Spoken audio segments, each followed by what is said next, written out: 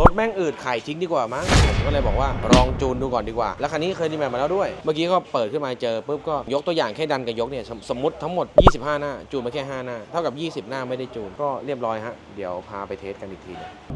เออดีดีดีดีอย่างเงี้ยเออมันรู้สึกว่ามีขยับขยื่นหน่อยค่อยไม่งั้นมันมันเหมือนคนตื้อๆแล้วรถมันหนักด้วยไงตัวเนี้ยเนี่ยกดก็มาเลยเห็นไหมเนี่ยอ่าเห็นไหมมามามาดีดีโอ้เจ๋วเจ๋วธ รรมดาอดีตผมมือขับนะทั้งรถรับจ้าง ทั้งขับรถเจ้านาย ทั้งเจ้าพ่อ ทั้งเจ้าแม่ขับหมด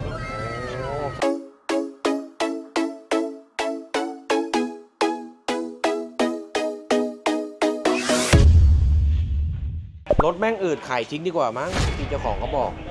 ลูกชายก็อยากว่าจะขายทิ้งจะไปเล่นรถไฟฟ้าแล้วผมก็เลยบอกว่าลองจูนดูก่อนดีกว่า เขาบอกว่าเคยขับ3.2 มามันกระฉับกระเฉงกว่า แล้วคันนี้เคย D-Max มาแล้วด้วย เขาก็เลยแบบไม่สบายใจอยากจะมาให้เช็คไฟล์เอ่อว่าสามารถจูนได้ไหมผมบอกอะเดี๋ยวผมเช็คให้เช็คเนี่ยไม่คิดตังค์เช็คเนี่ยแล้วก็ดูว่าเป็นยังไงบ้างโอเค ดีอยู่แล้วไหมถ้าดีอยู่แล้วก็ไม่ต้องไปทำมันโอเคแต่ถ้าตรงไหนสามารถปรับได้อะไรได้ก็คุยกับพี่เขาเมื่อกี้ก็เปิดขึ้นมาเจอปุ๊บก็โอ้โห อย่างยกตัวอย่างแค่ดันกับยกเนี่ยสมมติทั้งหมด 25 หน้า จูนมาแค่ 5 หน้า เท่ากับ 20 หน้าไม่ได้จูน เท่ากับว่าเงื่อนไขต่างๆ คือมันจะมีเงื่อนไขทำไมต้องต้องมีถึง 20 หน้า อาทิเช่น อุณหภูมิเท่านี้มาใช้หน้านี้ เกียร์เท่านี้ใช้หน้านี้มันมันมีหลายเหตุผลที่เราไม่รู้เบื้องหลังลึกๆของโปรแกรมเมอร์เราก็ต้องคำนวณเอาว่าหน้านี้จะใช้ตอนไหนลักษณะไหนอะไรแบบเนี้ยก็ถ้าจะเพิ่มค่าก็ต้องเพิ่มทั้งหมดอะไรแบบนี้ Okay. ก็เรียบร้อยฮะ เดี๋ยวพาไปเทสกันอีกทีหนึงไปโอ้ยมีใบไม้อยู่เลยข้างใต้เปลี่ยนดีกว่าอืมใช้ได้อืม ลูกชายผมไม่เคยดูอะรถอะแม่งเช็ด ยังไม่เช็ดเลย แต่แกไม่ค่อยได้ขับใช่ไหมล่ะผมไม่ได้ขับ แกขับทุกวันอ๋อแต่แกขับอยู่ทุกวัน โอ้ย วันหนึ่งวันหนึ่งเกือบร้อยอะวันหนึ่งห้าหกสิบโล ไปทำงานบ้านบึงไปแหลมฉบังอะอืมก็เดี๋ยวค่อยแนะนำให้แกเปลี่ยนกรองอากาศ อันนี้เดี๋ยวผมเป่าให้ไปก่อน เดี๋ยวค่อยไปแนะนำถ้าแกบอกว่าขับดีแล้วค่อยให้แกเปลี่ยน Okay. แต่ผมเนี่ยชอบไปต่างจังหวัดมชอบเอาจักรยานใส่หลังไปแล้วก็ไปปั่น อ๋ออ่าออกกำลังกายผมมือปั่นจั กรยานเออเดี๋ยวพี่จะขับเลย ไม่เอาผมให้ช่างขับไปเลยเนาะเรื่องผมขับแล้วพี่จะรู้ได้ไง พี่ขับเลยดีกว่า ผมถอยออกลำบากผมมัน 69 แล้วนะโอ้โหยังแข็งแรงอยู่เลย ถ้าผม 69 ผมจะเดินไหวอยู่หรือเปล่าไม่รู้เลยเนี่ยโอ้ยเพื่อนผม 78 เวลานี้ยังไปปั่นจักรยานอยู่ริมโขงอะเหรอเอออันนี้เดี๋ยวให้ฟิล์มลองขับก่อนทีหนึ่งเพราะเมื่อกี้เองเรามาขับแล้ว เองว่าต่างจากเดิมไหม ออกตัวตั้งอย่างเดิมต่างจากเดิมแล้วใช่ไหมใช่เพราะเดี๋ยวตอนของเก่ามันจะออกตัวอื่นเดี๋ยวค่อยรอฟังจากปากคนใช้จริงอ่าอันนี้อันนี้คือผู้ลองเฉย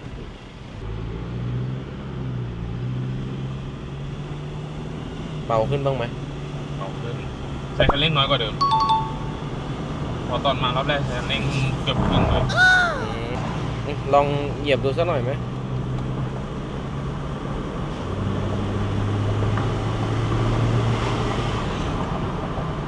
ยกใช่ป่ะเนี่ย ยก ยกแล้วก็เบรกใช่ไหมอืม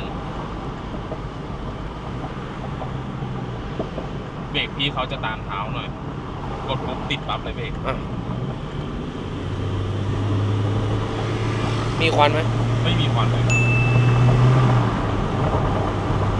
โอเคอะลองเหยียบเต็มๆดูก่อนนี่กดเต็มไม่เดินกว่ารอบเก่าก็ ขึ้นเร็วกว่าใช่ไหมใช่เดี๋ยวค่อยให้พี่เขาลอง อันนี้พี่เขามาจากจะเรียกพี่เรียกลุงเรียกพ่อก็ยังไงอยู่เรียกพี่แล้วกัน มาจากชนบุรีใช่พี่ชนบุรีนะ บ้านบึงเราขับแบบธรรมดาเราปกติแบบใช้งานเลยอะ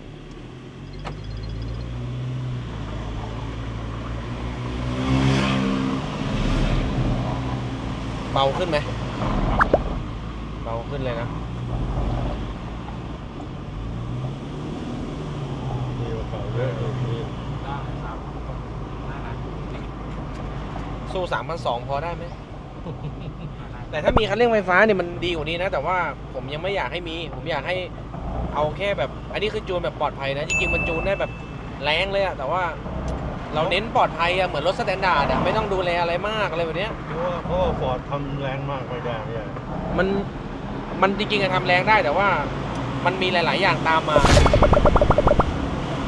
คือพอจูนรถใช้งานเนี่ยมันจูนยากกว่ารถแรงๆอีกเพราะว่า โอ้ผม หนึ่งเลยมันต้องไม่มีควันด้วยไงไม่ต้องเอาแรงใช่เดี๋ยวเรากลับรถตรงขวามือนะครับระวังไม่พ้นนะอาจจะต้องตีวงเผื่อนิดนึงที่มันแคบ คือถ้าจูนแรงมันมีควันได้ไง แต่อันเนี้ยมันต้องเออวิ่งดี ไม่มีควันเบาเบาขึ้นนะ ออกตัวเราเราจะสังเกตช่วงออกตัวนี่แหละ เพราะว่าเวลาเราขับเราก็เนี่ยจังหวะออกตัวมันมากกว่ามันจะขึ้นเราแตะเท้าเยอะไงเออมันต้องบดขยี้นะใช่ใช่อันนี้มันก็ใช้เท้าน้อยลง พี่เขาอาจจะไม่ชินเพราะว่าปกติเขาปิดกระจกขับเนี่ยปิดกระจกก็ได้พี่พี่อาจจะไม่ชินกับเสียงลมอะไรพวกนี้นะเดี๋ยวปิดกระจกเลยก็ได้ครับฝั่งนู้นเอาพี่ปิดกระจกก่อนเลยรู้สึกรู้สึกรู้สึกได้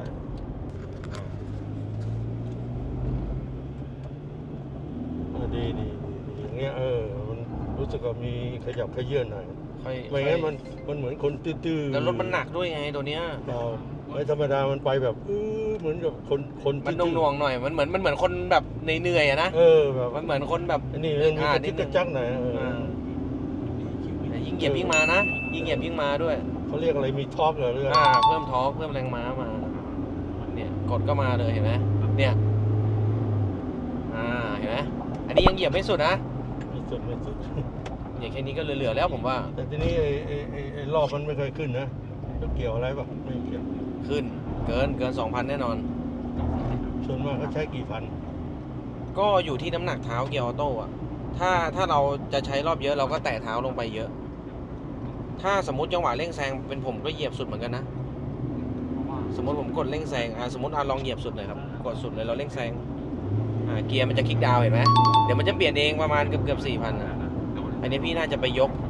อืม อ่า น่าจะไม่ไม่ค่อยชินทางอะ พอเรากดไปเราก็ยกอะอ่าลองเหยียบสุดอีกทีครับ เนี่ยรอบมันจะฟาดไปเลย ดีดีดีก็คือมันจะเพิ่มตั้งแต่ต้นกลางท้ายหมดเลยแรงบงแรงบิดมาหมดเลย อืมอืมแต่อันเนี้ยคือผมเพิ่มในระยะปลอดภัย คือคือสามารถเหยียบเต็มได้ยกได้เหยียบอะไรได้หมดเลยผกลัวเนี่ยเกียร์พังกับอะไรอะไรเกียร์เปลี่ยนน้ำมันเกียร์บ้างหรือเปล่าครับ เปลี่ยนเปลี่ยนเพิ่งเปลี่ยนปกติศูนย์เขาจะให้เปลี่ยนโหแสนห้านู่น เพิ่งเปลี่ยนเดือนตุลาเนี่ยใช่ไหม ก็มันมีสายหลุดเนี่ย อืมเนี่ยเราไม่รู้ไปซ่อมอะไรไม่รู้โดนไปเกือบสามหมื่นอืมแล้วเปลี่ยนอินเตอร์อีกหกพันกว่าเดี๋ยวลองกลับรถดูอีกทีก็ได้ครับ ลองเดี๋ยวเราลองเนี่ยเราเราเราจะเห็นชัดกับพวกทางกลับรถนี่แหละ เราขับขยับออกตัวเราไม่ได้ไปกดคันเร่งสุดอยู่แล้วตอนออกตัวใช่ไหมล่ะ เราจะไปกดคันเร่งสุดจริง ๆ ก็ตอนแซงนู่น ตอนออกตัวนี่เราขับธรรมดาเลยใช้คันเร่งน้อยๆ เนี่ยเห็นไหมมันมันไวไปหน่อย เดี๋ยวเราก็ชินเดี๋ยวเราก็ชิน มามามาดีดีโอ้เจ๋วเจ๋วมันมารอเลยอะ อันนี้คือจูนครบทุกหน้าเลย รอบมันมารอพี่แล้วอยู่ที่เท้าอย่างเดียวเท้าเราสั่งอย่างเดียวเราก็ไม่รู้เหมือนเหมือนคุณเคยดูอะบอกว่าล้างของเก่าไปเลย อ่าอันนี้ผมล้างให้หมดเลยที่ผมส่งให้พี่ที่ผมเดินมาให้พี่ดูเมื่อกี้ ทีนี้เราก็เราก็เอาอ่าเป็นของสไตล์ใหม่ไปเลย อออออ่าแล้วก็เดี๋ยวถ้าใช้ไปแล้วเบื่ออยากจะเพิ่มอยากจะลดอะไรแบบเนี้ยมาผมคือเสียตังค์ที่ผมเนี่ยแค่ครั้งเดียว ที่เหลือผมดูแลให้หมดเลย แล้วก็อันนี้ผมปิดการทำงานของ EGR ไปให้ด้วย โอเค EGR ระบบ EGR มันอุดไปแล้วหรือไงไม่รู้อ่าระบบมันยังทำงานอยู่เพื่ออ่าต่อให้เราอุดหรือไม่อุดระบบจะทำงาน Huh? อ่า แต่ถ้าจูนที่ผมเนี่ย ผมจะหยุดระบบมันให้ตัวฟอร์ดเนี่ยนะพอแล้ว GTR ไม่ใช่ฮะคือมันยังอยู่ที่เดิมแต่ว่าปกติมันจะทำงานจะขึ้น สมมุตินะมันขึ้น 50 ขึ้นร้อยแต่ตอนนี้มันจะขึ้นศูนย์คือมันจะไม่ทำงานอะแต่ว่า หน้าที่มันก็วางอยู่ตำแหน่งเดิมทุกอย่างเหมือนเดิมหมด ถ้าฟอร์ดผมจะต้องปิดให้ เนี่ยเข้าโค้งเข้าโค้งแตะสบายรอบเหลือๆเนี่ย แตะปุ๊บก็มาเลย ใช่ใช่ใช่ตามเท้าไม่ต้องรออะไรแล้ว ใช่ใช่ใช่ก็ลองลองให้เขาขับเผลอๆเขาอาจจะไม่ขายแล้วก็ได้ เนี่ยครับเดี๋ยวกลับรถตรงนี้พอแล้ว แล้วก็ถ้าเขาใช้แล้วเขาบอกว่ามากกว่านี้ได้ไหมเข้ามานะ ผมทำให้แต่ว่า ต้องค่อยๆค่อยต้องต้องค่อย ๆ ลองจากแบบนี้ไปก่อน มันอยู่ที่มันมันอยู่ที่รถตัวรถด้วยฟอร์ดเขาผมฟังเขาพูดอะนะอืมเขาบอกระบบไฟฟ้ามันยุ่งมันไปซีซัวจูนไม่ได้อะไรมันตามันมีกล่องมันมีกล่องหลายตัวในรถอะ ตามที่คนเขาพูดนะที่ฟังเขามาเขาบอกมันจะไม่เหมือนกับเขาบอกอีซูซูอีซูซูนี่เขากล่องเครื่องยนต์ตัวเดียว ที่เหลือก็จะเป็นระบบไฟกล่องฟิลอะไรพวกเนี้ยแต่ถ้าอย่างฟอร์ดอย่างเชฟเนี่ยเขาจะมีกล่องบอดี้รถต่างหาก กล่อง ECU เครื่องยนต์ต่างเพหาราะกว่าเราก็ไม่รู้ว่าของเดิมเขาเป็นยังไง อืมแต่ผมเคยสามจุดสองเคยขับ มันมันมันมันจะแลนุ่มอะสามจุดสองอะ มันแบบ เขามีกำลังตั้งแต่กำเนิดไงเครื่องเขาใหญ่ แต่ถ้า 3.2 จูนมันก็จะวิ่งกว่านี้นะ มันก็จะวิ่งกว่านี้นะ ต้องบอกแล้วมันมันมันไม่ไหวแล้ววิ่ง อืมแต่ว่า อย่างว่าเอออย่างเงี้ยเราเนี่ยขับแล้วมันแตะแตะมันมาอะไรเงี้ยเออทีนี้ผมข้องใจไอ้ตรงตรงรอบนี่ด้วยว่ามันทำไมไม่ขึ้นเนี่ยขึ้นเนี่ยเห็นปะอันเนี้ยอันเนี้ยขึ้นแล้วเนี่ยมันก็มาสองสามพันเลยเห็นไหมอยู่ที่น้ำหนักเท้าเราเนี่ยถ้าเราผมผมไม่เคยเคยใช้คันเนี้ยอ๋ออันเนี้ยลองกดสดดิรอบจะขึ้นไปเลยถึงสี่พันนู่นนะปื๊ดเห็นปะนั่นรอบมาเลยเห็นไหมนั่นน่ะเห็นปะอ่าโอเคครับระวังโค้ง เนี่ยรอบมันจะอยู่แค่ไม่เกินสี่ธพัรนรมดาอดีตผมมือขับนะขับอะไรมาก่อนครับเนี่ยโอ้ยผมขับ ผมทั้งรถรับจ้างทั้งขับรถเจ้านาย ทั้งเจ้าพ่อ ทั้งเจ้าแม่ขับหมดแล้ว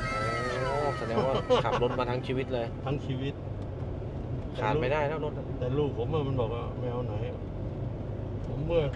ผมเมื่อตรงไปเลยค่าตัวห้าร้อยนะของฝากต่างหากนะนะ ถ้าพาผมไปไหนอะสั่งผมไปไหน คุยโม้